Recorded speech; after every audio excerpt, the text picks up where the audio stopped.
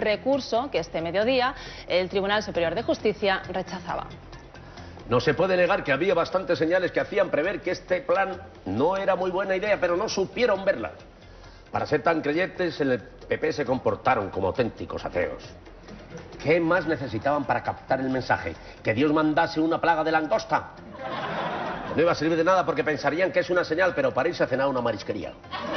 Un momento, un momento, un momento, porque estáis olvidando un factor fundamental de la lucha contra la paralización de la privatización madrileña. Bueno, no, la lucha contra la privatización. La paralización se ha conseguido. Es que me pongo nervioso porque es una persona tan importante en nuestras vidas. Una persona que ha hecho tanto porque este proyecto se haya llevado a cabo.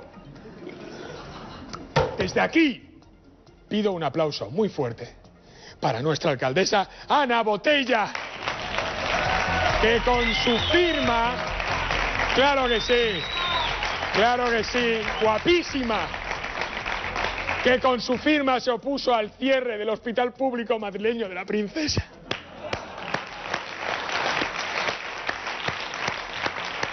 Enhorabuena, enhorabuena, alcaldesa, por fin ganas algo.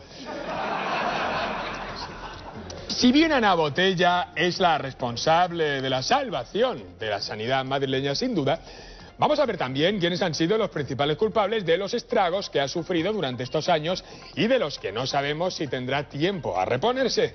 La sanidad, no Ana Botella, que cada día está mejor. Estos son los últimos tres consejeros de sanidad de la Comunidad de Madrid. Lamela, Güemes y Laschetti. Pero aparte de ese puesto, tienen varias cosas en común. Los tres tienen un apellido bastante gracioso. Y todos llegaron a la Consejería de Sanidad sin ninguna experiencia en sanidad. Pues bien, los anteriores consejeros, Juan José Güemes y Manuel Lamela, están imputados penalmente por cohecho y prevaricación.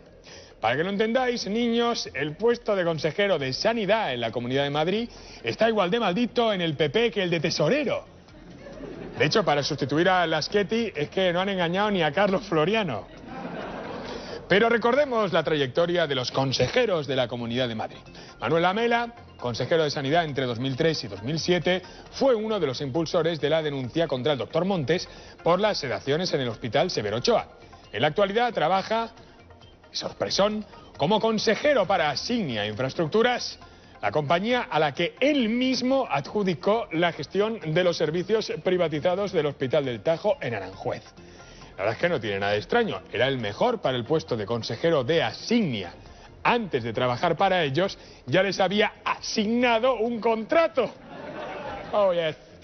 Cuando la Mela no tuvo más remedio que dejar el cargo, su sucesor fue Juan José Güemes, que curiosamente también acabó trabajando para una empresa privada, Unilabs, que compró el 55% de la empresa BR Salud, a la que le fueron adjudicados los análisis clínicos de seis hospitales madrileños cuando él ocupaba el cargo. ¿Os llama la atención? Pues a Ignacio González no. Me parece algo bastante razonable, sobre todo porque si no hay ninguna incompatibilidad ni hay ninguna vulneración de los límites legales a la incompatibilidad, ¿por qué no se va a poder aprovechar el talento, el conocimiento y la experiencia de estas personas? O sea, que usted no cree que habría que endurecer la ley de incompatibilidades. No, yo creo que la ley de incompatibilidades en nuestro país es suficientemente dura. Bueno, es llamativo que el presidente de la Comunidad de Madrid le pareciese, bueno, lo más normal del mundo, porque horas después de esas declaraciones, el propio Güemes dimitía de su puesto en Unilabs. Pero bueno, todos sabemos que el umbral de tolerancia a actividades controvertidas que tiene Ignacio González es altísimo. Es tan alto como su ático. Pero este no es el primer caso sangrante que vemos de afectados por preferentes. Como experto en afectados por casos preferentes, Dani Mateo, ¿puedes ilustrarnos? ¿Puedes abundar un poco más? Sí, hombre, por supuesto. Sí, sí. Muchos creen que los bancos son empresas sin alma, capaces de vender a su abuela. Bien, primero os diré que nosotros no vamos a caer en ese discurso fácil, ¿de acuerdo? Y segundo, le diré al director de mi sucursal que deje de llamarme para intentar venderme a su abuela Carmen por mil euros. ¿Eh? A partir de 500 podemos, podemos hablar. En fin, como decíamos, las preferentes son un producto muy complejo ideado para grandes inversores. De hecho, no puedes recuperar el dinero, sino volver a venderlas en el mercado financiero porque son, eh, como Jordi Hurtado, perpetuas. Pero ¿de qué hablamos cuando hablamos de estafar a gente? Pues de casos como estos. Atentos. Un juzgado de Valencia condenó a Bankia por vender preferentes a un hombre enfermo de Alzheimer.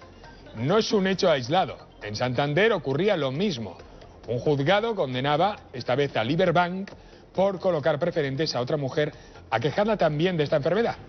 Bankia también se vio obligada a devolver la inversión de un hombre invidente y que además no sabía ni leer ni escribir, al que también habían convencido para comprar preferentes. Bankia, en su afán de superación, también colocaba estas participaciones a, atención, una mujer con una minusvalía del 85%. La segunda firmante era su madre de 88 años y analfabeta. Aunque sin duda mi caso favorito es el de Nova Galicia, que llegó a venderles preferentes, atención, a dos niños de Lugo de 5 y 9 años por valor de 15.000 euros. Oh yeah. Bravo. Bravo amigos de Nova Galicia, habéis in- inventado las chiqui preferentes.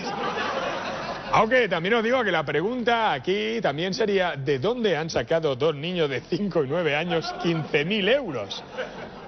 A estos chavales cuando se les cae un diente no les visita el ratoncito Pérez, sino su hermano Florentino.